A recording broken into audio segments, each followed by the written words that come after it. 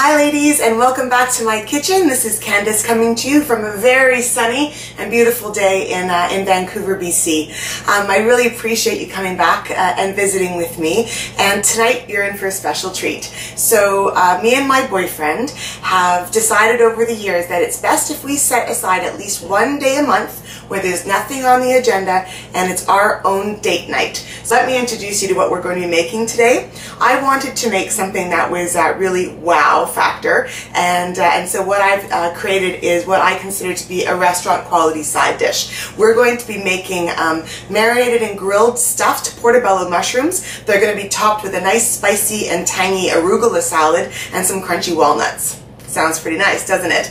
And so what I'd like to do, um, just to quickly get started with us, is to show you some of the ingredients that we're going to be using to create these little gems. So what we have here is our portobello mushrooms, which are nothing more than large cremini mushrooms. Um, they can be treated in the very same way that you use all of your mushrooms, but today we're going to treat them a little bit special. Uh, also, we have our star of the show, our Philadelphia Light today with the herb and garlic. It's probably, this is probably my favorite product, tell you the truth, by Philadelphia. I love this one. It's always in my fridge and it's kind of guilt-free, so I don't feel too bad about having it on a bagel sometimes. So what I've done is just taken um, about three tablespoons of our herb and garlic uh, Philadelphia cream cheese and I've mixed it with about three tablespoons of plain goat cheese. And I find that both cheeses are really nice and tangy but together they just create this real richness. And to uh, to add to that tang I've added a half of a lemon zest in here that I just used my little handy dandy rasp and my little lemon and put it in. And once we get started, I'm also going to add to our cheese mixture one teaspoon of fresh thyme and a dash of pepper or two. And they're going to be topped with a panko and parmesan uh, crust so that get a nice little crispy crust on there as well. I'm going to be topping it with a nice arugula salad. Um, I like arugula because it actually has a bitter tart taste to it and cut against the cream cheese. I find that it's a really nice balance and this is going to be the simplest salad ever. Just a drizzle of olive oil, a little bit of salt and pepper and lemon juice and that's it. And then I'm going to toast some walnuts and we're going to just crumble them on top. So if I want to get this ready before he gets home, um, I better get things started. So I'm going to introduce you to how to clean the portobellos and our marinade that's going to make them extra special. Okay, so we've uh, cleaned out one of the mushrooms already just to get things started so you can see what they look like. And this is a trick that I learned um, in my 20s and 30s really. I had a wonderful opportunity to work at some of the finest restaurants this country has to offer, which was just an amazing So this is the finished experience. product and this is why restaurant food looks so pretty. So I'm going to show you how to make this one look the same as this one. So all we're going to do is take out the stem, which is inedible. Um, you, well, not inedible. You can use it in uh, stock if you if you would like. Just chop it up small and put it in a stock, but for this dish we don't want it. Just going to show you, we're just going to take a spoon and just gently peel them out. So this is not um, a necessary step. It's not that these are inedible or that you can't eat it. I just find that it turns a little um, muddy. I think that's the best way and I then in order to get uh, that uh, lovely white skin that you see here, we just quite simply take our fingers and pull back just gently. I hope you can see this. Just gently pull back on the skin. Comes out just like that. And even though, again, this is not a necessary step for portobellos, you can easily eat this skin. Because we are marinating it, I find that the marinade actually gets in to the mushroom much faster this way because I've, it's more porous, so it's now nice and soft. That's it. So I'm going to put together our uh, marinade next. Excuse me, my fingers are disgusting. Okay. Well, I'll clean them up later. Uh, so our marinade, which will be actually pretty quick, you can use this marinade for uh, 15 minutes or up to a half an hour, depending on how much time you have with these mushrooms. And all we're going to do is put um, two tablespoons of balsamic vinegar, two tablespoons of uh, roasted garlic oil, two tablespoons of uh, freshly crushed garlic, and now the piece de resistance, and the one thing I really wanted to uh, share with you guys today was my little trick. So this is a half a cup of dry white vermouth. Now, vermouth you may well know as, uh, you know, in Bond movies, shaken not stirred, in our cocktails and martinis, um, but for a home cook, this is a fantastic ingredient. Um, all vermouth is, is just a fortified wine, and uh, what that allows for is a much longer shelf life than you get out of regular wine. It also has a nice sweet and spicy flavor to it, um, a real depth of flavor, and what I like about this is that I put this bottle right here, I hope you can see it, this bottle was 13 bucks. Not a lot of money, especially if you know what BC prices so we are like have just uh, toss them really well in the marinade and I just like to brush the tops to make sure everything's really well saturated. It's kind of hard to have a dish, uh, you know, flat enough to do this sometimes with the mushrooms. So you want to keep them well basted during that 15 minutes of, um, of marinating time, but that gives me lots of time to do my cheese. So as I mentioned before, we've got goat cheese and our herb and garlic Philly and a half a lemon zest in there that I'm just going to cream all together.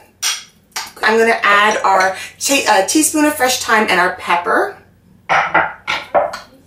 And this is going to be our mixture that uh, the mushrooms are stuffed with, which is going to be amazing. Okay, so our portobellos have been um, sitting in their lovely little mixture here for about 15 minutes, and as you can see, they've really taken on um, the color of the marinade, which is great. And all I'm going to do is put these on my grill pan, which has just been heating up behind me here, and I'm going to put it on medium high, and I'm going to put it gill side down first for four minutes, and then I'm going to turn them over and uh, cook them four minutes more. And during your cooking time, you want to reserve this marinade because we're going okay, to baste it. We've got through our eight minutes and these are our portobello, whoa!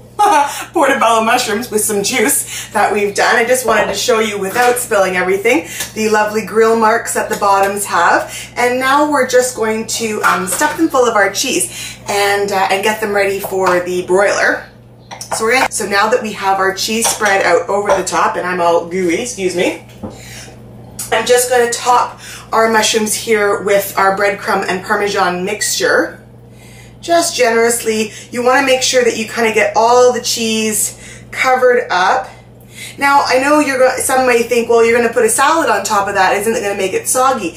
Ironically, because the salad is made at the very last minute and it's placed on it right before it goes to the table, it doesn't really allow it to get soggy and it gives us this nice little surprise for crunch. I'm just going to let these little, babies hang out because although my nails are done, I am not, so I need to hop in the shower, get my best dress on, maybe pull out the good underwear, and uh, now, now ladies, get your head out of the gutter. It's not that kind of video, but what I will do for myself is since I had vermouth on hand. Thought I'd make myself a little martini just to get myself maybe more in the mood, let's say. And, uh, and my boyfriend should be home in about, literally about a half an hour, so I better move it. Okay, hi again girls. I have cleaned myself up best I can as good as I get, really.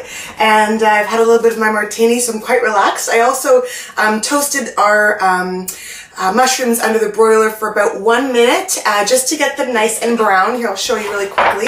That's the color we're looking for. And ladies, this is one thing, do not move from the stove. These little guys will burn faster than you can say potato.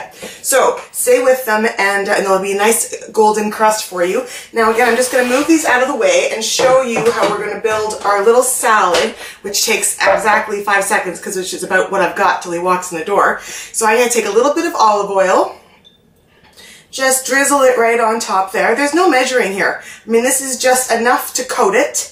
And then I have my lemon, which I'm going to take half the lemon, just hold my hand over it to squeeze so I don't get any of the seeds in there.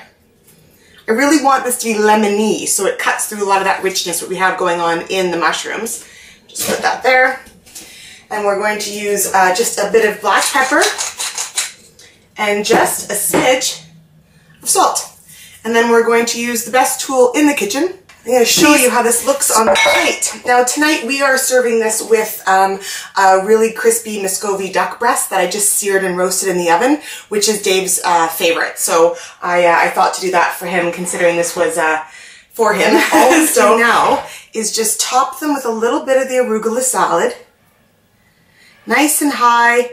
This is the restaurant stuff. This is the thing that, that they uh, they do, it's all presentation. Don't forget, we eat with our eyes as much as we do our nose. I remember one chef uh, that I work with in uh, Tofino, BC had said that um, we first eat with our eyes, then our nose, then our mouth. And I'm gonna just take our little like walnuts and just let them fall where they may. Just put them on top. It adds a nice nuttiness that I think goes extremely well with the arugula and the mushrooms. And that is that.